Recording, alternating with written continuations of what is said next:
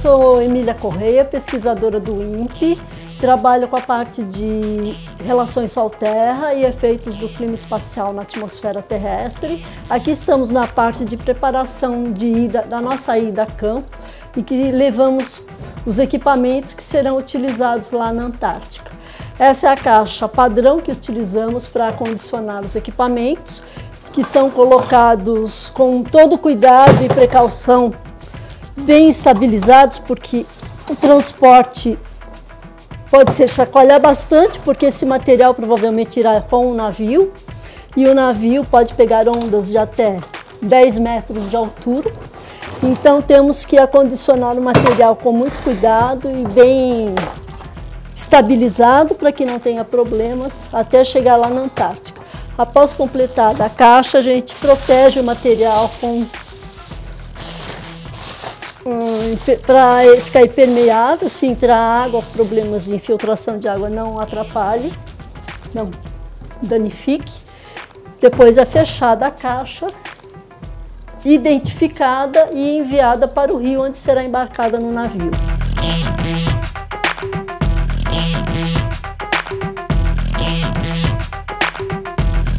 O meu projeto ele é, se caracteriza pela observação do comportamento da ionosfera, então ele se baseia em medidas em detecção de ondas de rádio, né, que interagiram com a camada ionizada. E essa detecção é feita com antenas relativamente grandes, principalmente a da ionossonda, que é uma antena, uma antena delta com 60 metros de lado e que requer a instalação de torres. Né? A metodologia de instalação dessas antenas é complicada, primeiro pelas condições de tempo que você precisa ter um, uma janela grande de tempo bom, sem vento, de preferência de temperaturas não muito baixas, porque é difícil você trabalhar do lado externo sem luvas. Então, instalações que seriam rápidas aqui no Brasil, em condições normais, lá na Antártica, a instalação de uma antena pode durar bastante, quase uma semana, às vezes esperando uma condição de tempo boa para aquela instalação. Além disso, lá na Antártica a gente não pode construir pilares de concreto, então sistemas, antenas que precisem ser fixas no solo, você precisa escavar ou até mesmo perfurar rochas para conseguir prender essas antenas. Essa parte interna do laboratório aí sim, é como se a gente estivesse no Brasil em condições normais, como a gente viu aqui os sistemas de observação do radiotelescópio. Aí a gente teria os sistemas equivalentes lá na Antártica dentro do laboratório.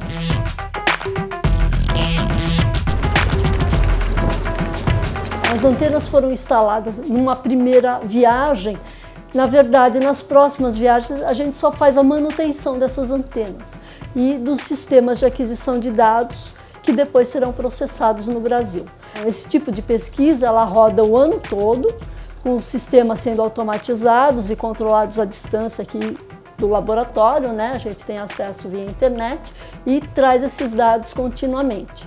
Esses dados são utilizados para ah, caracterizar o comportamento da ionosfera lá na região antártica e são complementados com dados obtidos de redes de instrumentação em todo o continente antártico e mesmo sobre a América do Sul, envolvendo colaborações internacionais entre os diversos países. No começo do ProAntar, vamos dizer assim, na década de 80, quando começou, a, a, metodologia era um pouco diferente, porque naquela época nós não tínhamos internet, então, na verdade, a gente precisava de alguém que permanecesse na Antártica durante todo o inverno para acompanhar o andamento das pesquisas, a operação dos equipamentos e gravação dos dados.